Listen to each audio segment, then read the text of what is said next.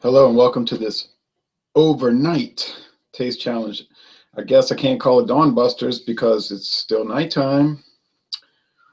You know, up until uh, December 21st, it's going to get darker and darker. Then, after the um, winter solstice, solstice it'll start to slowly brighten up you know what I mean? Like each day will get longer until June. But this morning, we have this AM at night, we have a taste challenge. Okay, now I've been very dismayed about these taste challenges because I've been getting them wrong. But like I said in the last one, I've set my own trap. I can't get out of it if I say I'm going to taste everything and then I start getting it wrong and I disappear from the challenges, uh, that's not competing, is it? That's dropping out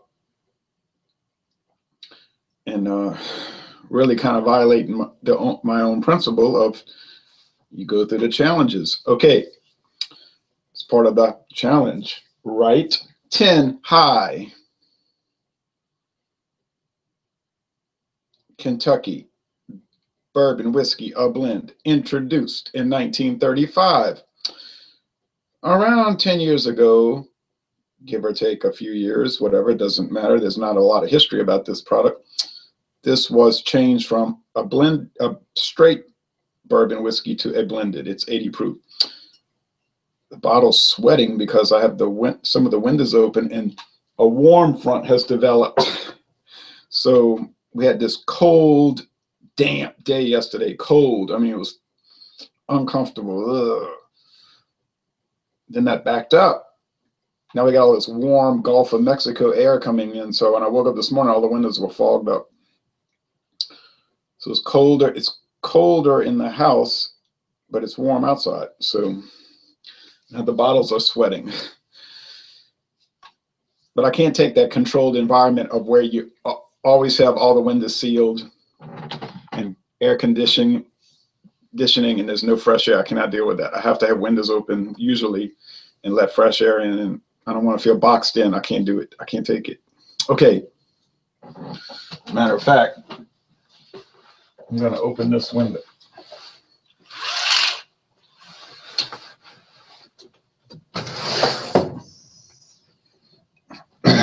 All right. Versus Jim Beam. I can hear that wind. Jim Beam Kentucky Straight Bourbon Whiskey, introduced in 1938. Yeah, I know the bottle says something else. It's funny how if you do research, you find out the real story. Um, okay, yes, there is some proof that the Beam, the BIM, German, BIM immigrant family has been distilling bourbon since about 1795. Around that time. After Kentucky became a state, you know, that Kentucky became a state, about 1792. Okay, um, but the actual brand Jim Beam didn't come about till 1938, and that's because James Beam brought the company back out of uh, the evils of prohibition. I guess you see, kind of like that. You'd say kind of like that Jefferson Starship song from 1982. I came back from the jaws of the dragon. So they were like down and out, but he brought them back. They show all the guys on the bottle: Jacob, David, David M., Colonel James Beam, Jeremiah Beam, Booker Noe, and Fred Noe. But Jim Beam, who died 70 years ago this year, he's the guy that made the company big. So they named they actually named the bourbon after him in his honor. Now it's the Noe family, N-O-E because you know through inheritance on the mother's side, the maternal side, they inherited that name Noe, you know, he just like Louisiana had a governor Noe once, N O E, and they named her. He he had his own radio station W N O E, Noe. And Governor Noe was there in the state capitol when Huey Long was shot. And Governor Noe ran and got his pistol out the desk and ran back, but it was too late. Okay, um, so this is JB. Am I going to be able to tell them apart? Hey, look, I, I got to tell you now, my confidence level is low.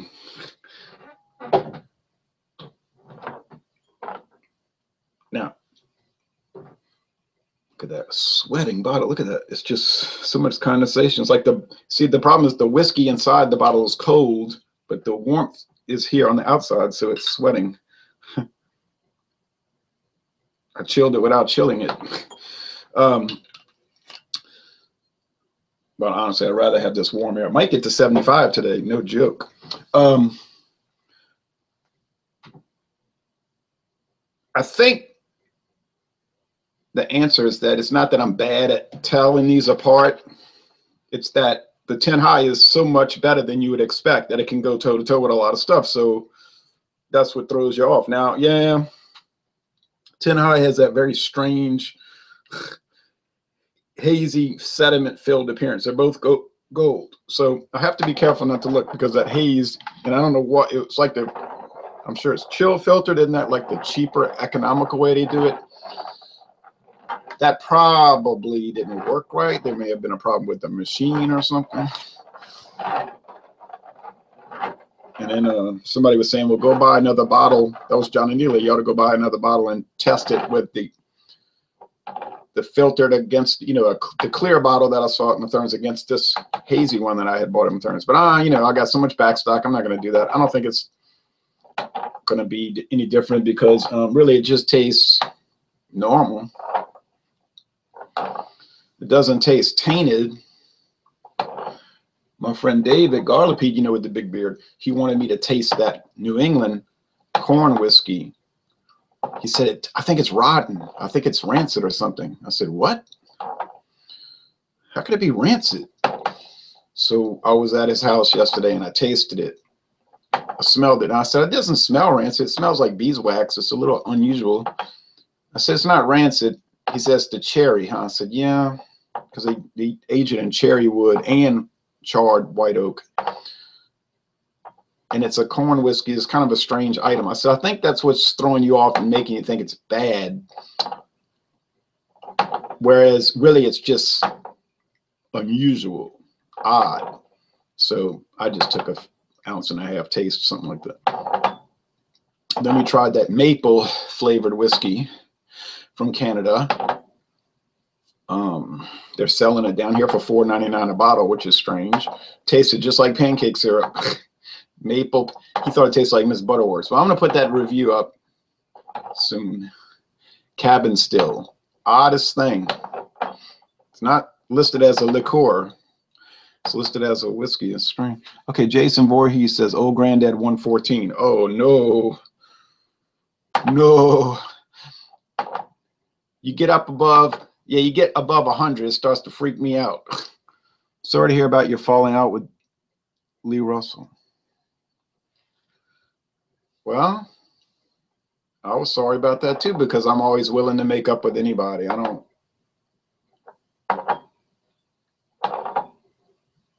I don't know what you heard about that, but I guess it's common knowledge. But I, yeah, we used to do hangouts together. I, I like everybody in the beer world pretty much.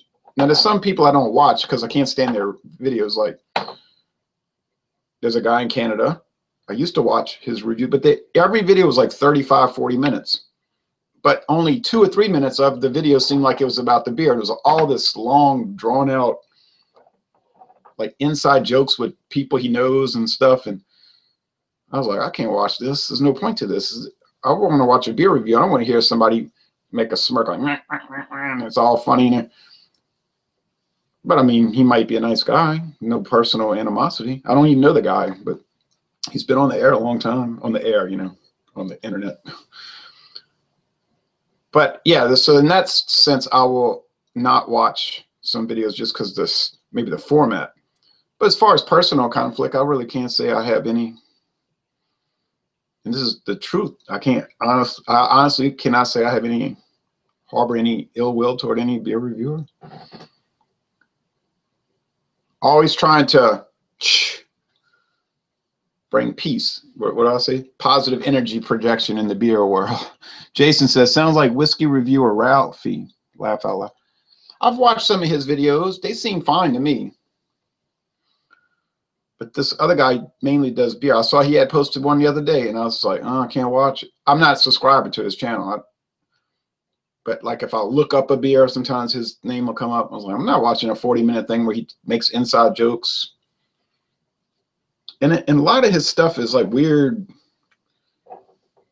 homosexual like connotations. I'm like, why do I, why would I want to see this? You know, I, I have no, I don't care what he does. I don't really care what other people do with their channels. I just I don't, it's not, I don't want to see it. you know, I don't want to see it. Who are your favorite beer tubers? Well, maybe we ought to do that in another chat hangout uh, because I want to get to this bourbon. I have a I have a hard time limit coming up at, at top of the hour. I have a hard. I have to stop. News coming on. I gotta kill it. Uh, but uh, William Kepley was talking about doing an end of the year retrospective on Hangouts and whatnot, and then we could talk about that. I have a lot of them, a lot of favorites, actually. And I watch a lot. I watch a lot, and I always comment. And I've told other people, I said, I challenge you. Find any video or anywhere ever, going back to seven years, eight years, I'm sorry, eight years, 2009. Find any video. No, I'm sorry, seven years where I said anything ugly or negative to anyone. I challenge you to do that.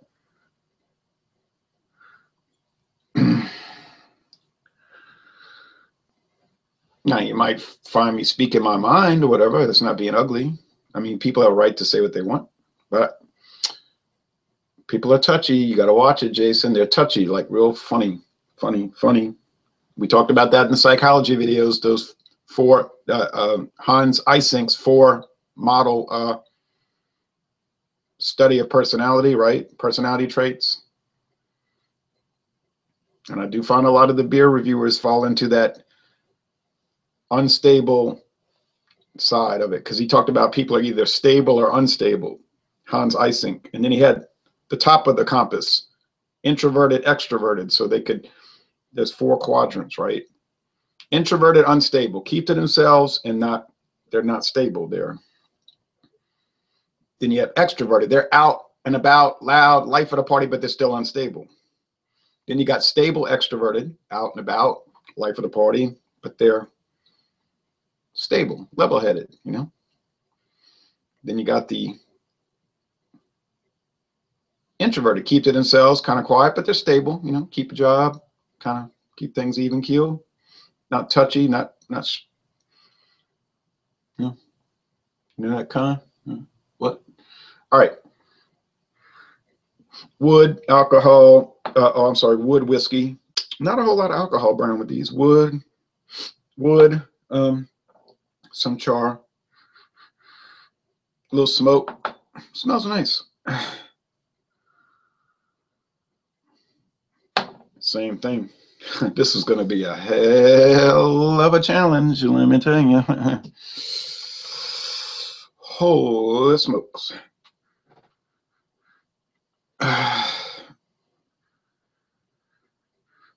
Going on aroma alone, I would shop price only. I'm not going to pay $13.99 for Jim Beam and I can get 10 high for $9.99 at Winn-Dixie. I don't think that's going to happen. But we're not here to smell whiskey, right? This is a not a smell challenge. This is a taste challenge. It's not an appearance challenge.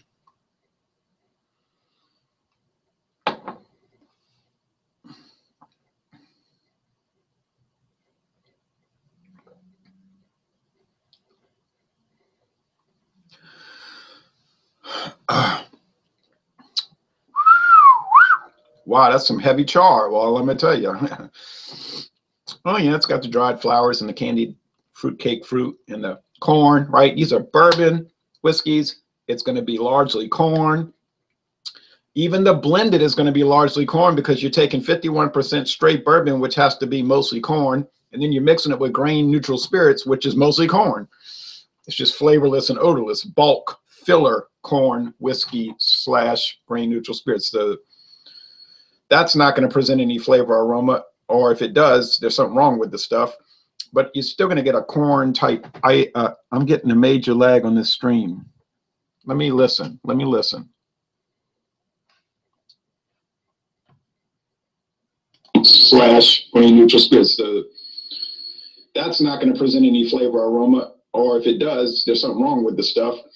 No, I'm I'm watching the playback. There's no lag on my end. It's I will get that sometimes where somebody will say he's getting a lag. The next guy will say, I don't see anything wrong with it. And all I can do is check, check the audio. And if it's the playback is coming across smooth, then it's got to be on your end. I can't answer for that. Sorry. And when I use Microsoft Edge slash Explorer, I usually never have any lag or uh, audio issues. It's not this computer. This computer is fast. It's a it, this it's the best desktop I've ever owned. I think. It's a Dell. Now, oh, now, okay, wait, all right. Here, you see, with Jim Beam, I noticed that there's like a green wood it's like wood that's not totally dried. It's almost like green. I know that can't be correct, but it seems to have that. And um, then you have that little mossiness, like um, we have a lot of moss around here. That's why everybody's nose run all the time because moss is from mold, right? But um, it's almost like a, you can smell Spanish moss in a way if you get close to it. And um, I think that's what this must be. Now, which one's better? Huh.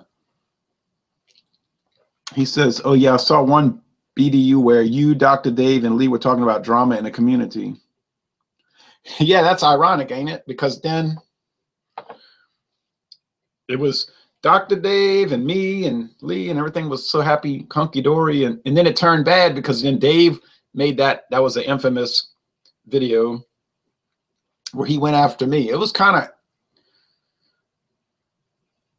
interesting. I mean, it didn't really bother me. And then some people were contacting me secretly saying, I can't believe he's coming after you like this. And I was like, oh, don't worry about it. And then it was like this big explosion. And then Lee was very angry at Dr. Dave. And then, then he made the video about uh, Dave the bully. And recently got rid of three friends not connected to YouTube or tasting reviewing in any way he says, and was banned from a forum. Feels liberating, really. Yeah, I don't go for that banning from forums, that weird parano. You know, that that's that's a problem I have with the whole thing because you get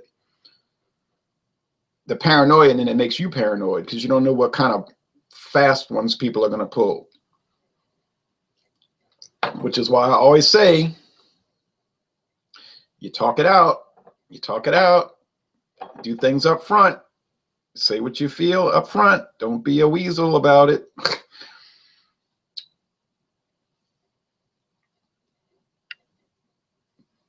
Don't use back channels. And if somebody talks to you privately, keep it private. But some people got a big mouth, you know what I mean?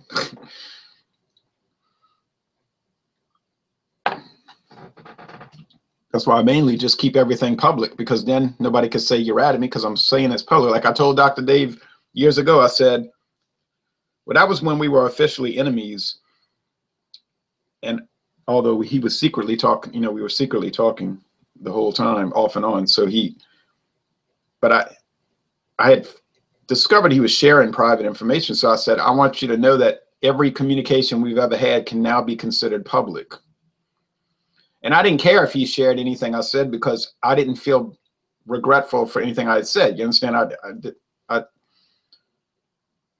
I didn't mind if it was shared. In fact, sometimes I will say things in private that I'm seeing if it's going to be shared. You know what I mean? I'll plant things.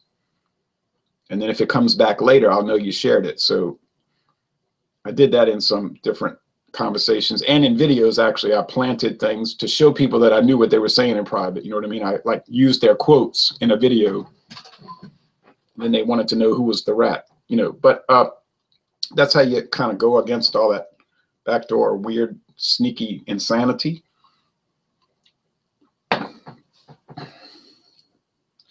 You just make sure that anything you say you don't mind if it's shared. And that's generally my policy diabolical. Hey, but you know what? We made up, and I knew that was going to happen. I told Maria Devon. I said, uh, I said it's going to change, Maria.